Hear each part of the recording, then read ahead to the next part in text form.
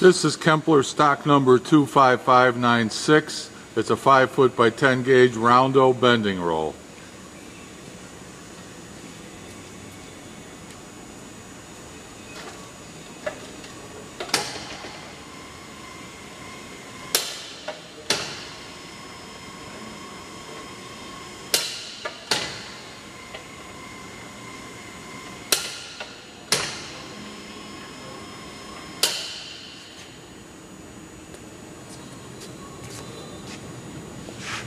Once again, 25596, 5 foot by 10 gauge roundo bending roll.